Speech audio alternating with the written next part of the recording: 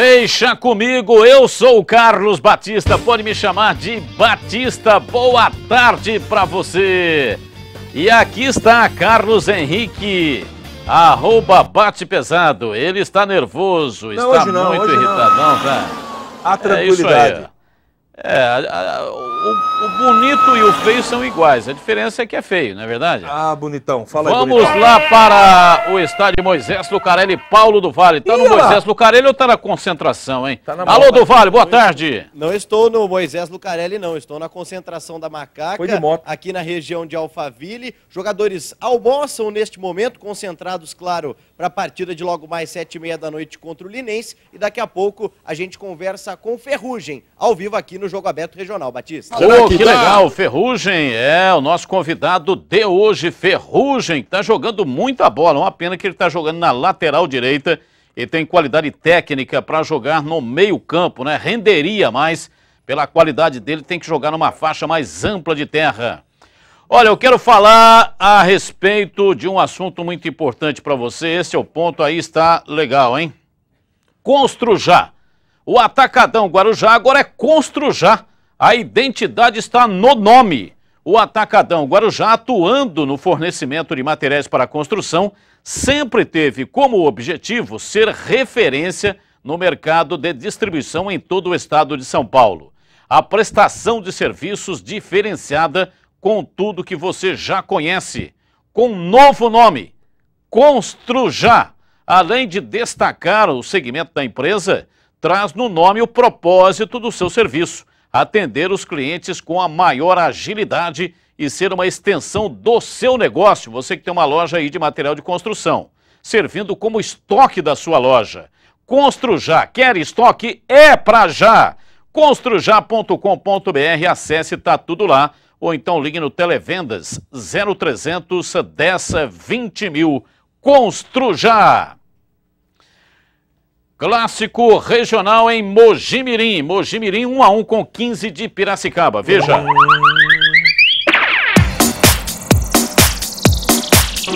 Clássico regional em Mojimirim, com um atrativo a mais, o pentacampeão Rivaldo no banco e o filho dele no ataque do Sapão. Com menos de um minuto, Rivaldo Júnior tenta ser o garçom de Serginho.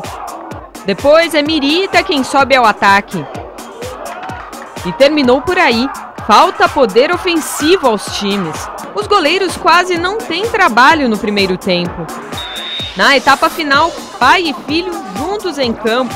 22 anos depois, Rivaldo volta a disputar um jogo em Mogi com a camisa do Sapão. Mas é o 15 de Piracicaba que leva perigo. Aí o Rivaldo mostra que não esqueceu como se cobra uma falta. A partida melhora. Um chute forte de Cafu para em Reinaldo.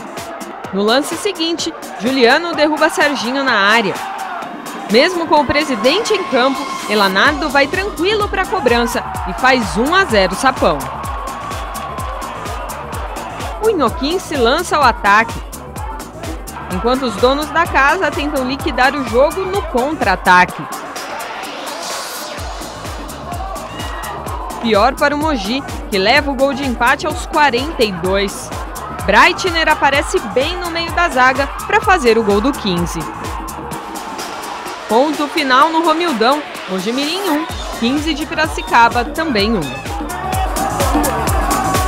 O empate acabou sendo um resultado ruim para as duas equipes. O 15 de Piracicaba estaciona na terceira posição do grupo B e o Mojimirim é o quarto do grupo D. E as duas equipes ainda podem perder mais posições ao final da nona rodada. O fator principal era, independente se jogando junto ou não, a gente queria vencer o jogo, né? Sair com os três pontos. Infelizmente não, não aconteceu, mas vamos trabalhar agora para conseguir os três pontos na, no sábado. Conseguiu um, um resultado, acho que, que importante, jogando fora de casa, como você citou. A gente não pode é, perder. Somando, você está sempre é, conquistando os objetivos que nós temos aqui no 15. É isso aí, tá aí Danilo Sacramento, um grande abraço, grande figura. Olha, o resultado foi ruim no aspecto de conseguir aí uma vaga na segunda fase da competição. Mas o Verdade. primeiro objetivo de ambos os times é a permanência na Série 1 da competição. E nesse aspecto o resultado acabou sendo bom. É sempre um pontinho a mais, né, CH? É, sem dúvida. Aqui no grupo D, o Mogi vai a 12 pontos. Está atrás do Bragantino, que tem 13, e o Rio Claro, que tem 15. Então ficou um pouco distante. No caso do 15 também, o Ituano tem 15 pontos, que é o segundo colocado do grupo B, e o 15 foi a 11. E o campeonato restam seis rodadas apenas, né, Batista? Agora, eu entendo que o resultado foi mais interessante para o 15 do que para o próprio Mogi. É, o 15 jogando fora de casa. E aí, o lance do pênalti aí, alguma dúvida, hein, CH? Não, para mim não. Pênalti. Aconteceu o pênalti mesmo, né? Então, nenhuma dúvida no pênalti. Não há o que reclamar por parte do 15 de Piracicaba. Placar Agora, de 1 a 1. O Rivaldo colocando o nome definitivamente na história de uma outra maneira, né? Jogou profissionalmente ao lado do filho. Isso, no mínimo, é. Aliás, não é mínimo, não, é muito relevante. Legal. E olha é o seguinte, vamos falar do Guarani. O Bugre joga nesta noite em Bragança Paulista, na Bia Bichedi, é o palco do jogo, 20 horas e 30 minutos com a transmissão pela Rádio Bandeirantes AM 1170 na íntegra. Põe aqui na tela o Guarani, vamos lá. O resultado positivo na última rodada deu uma injeção de ânimo ao elenco do Guarani. A um ponto do G4, o grupo sabe da importância de engatar duas vitórias seguidas para entrar de vez na rota do acesso. A confiança do time está evoluindo, acho que tudo isso é um fator positivo. Acho que naturalmente um time crescendo, acho que a chance de a gente depois não sair desse G4 vai ser muito grande. Outro lado, o adversário vive de irregularidades na Série A2. A Ferroviária também luta pelo acesso e está na lista das equipes que mais investiram para subir à principal divisão do estado. É um time que é um dos, é um dos sérios candidatos também ao acesso, né? É um time que investiu bastante, é um time forte, é, mas que a gente está jogando dentro de casa, perante o nosso torcedor e a gente está num momento né, vendo, vendo uma confiança boa depois de uma vitória. E esperamos que a gente, é, na quarta-feira, com muito, com muito mérito, mas com muita luta também, que a gente possa estar tá vencendo e entrando nesse G4.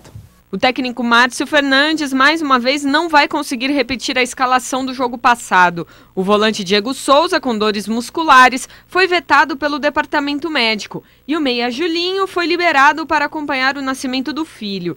Eduardo Heré e o Elker devem jogar no meio-campo.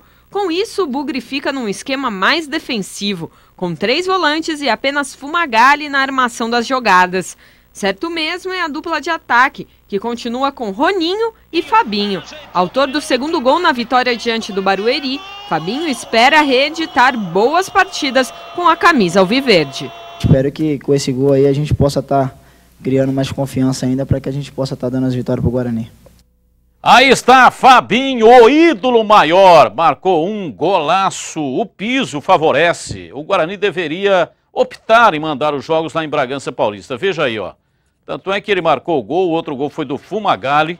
e o Guarani né? fez três jogos nesse estádio aí. Empatou um como o Grêmio Osasco, Jogou bem. mas ganhou dois jogos contra São Caetano. Foi a melhor partida do Guarani na Série 2 e ganhou esse jogo aí contra o Grêmio Barueri. As três partidas que o Guarani esteve em Bragança jogou bem.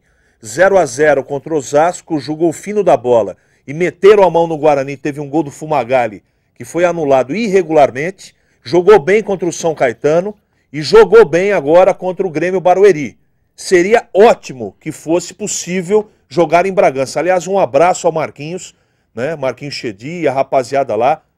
Você sabe da linguiça, né, Batista? Teve linguiça para todo mundo Sim. lá, inclusive para você. E hoje é, vai ter de novo. Lá. Ah, vamos parar com essa bajulação Linguiça para você hoje e pro Tigrão. Eu ganhei no final de semana. Mas é o seguinte, seria legal jogar lá, porque o gramado tá legal, né? O time se acostumou, mas me parece que o caminho do Guarani daqui para frente, depois do jogo de hoje, será Paulínia. É isso aí, o Marquinhos se sensibilizou com o caso do Guarani que não tem lugar para jogar. O próprio Bragantino viveu uma situação como essa, né? Viveu um problema desse tipo, não tinha campo para jogar, isso foi em 96 e foi uma dificuldade enorme, só escapou do rebaixamento na última rodada e assim mesmo pelo saldo de gols.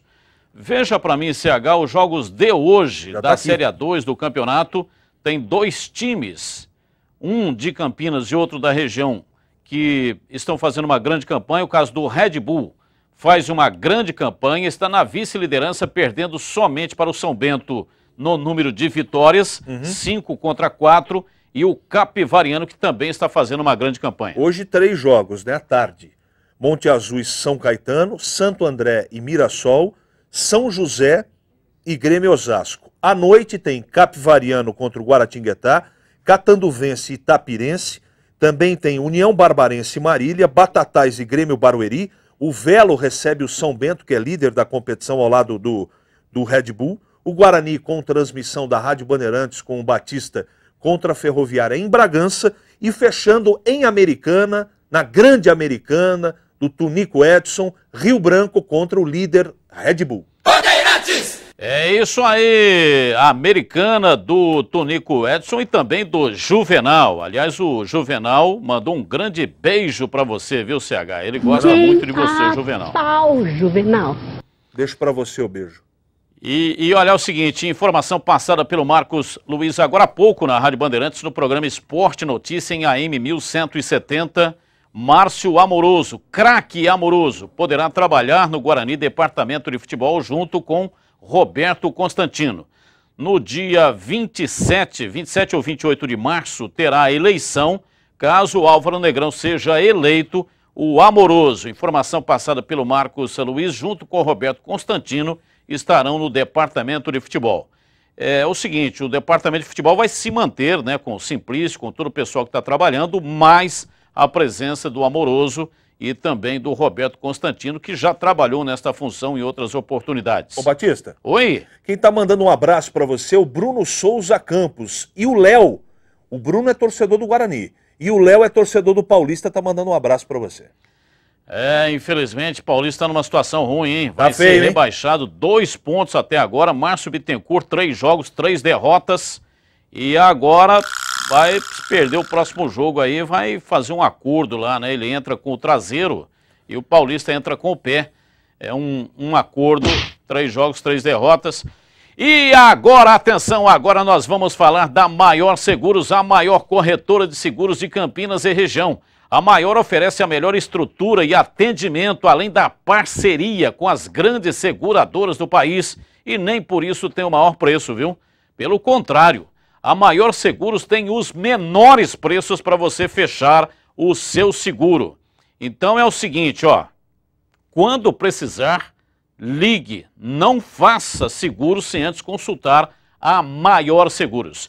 A Maior Seguros fica naquele prédio espelhado, bonitão, na Avenida Orozimbo Maia, em Campinas. O número é 1774 e atenção, hein? Tem estacionamento próprio com manobrista.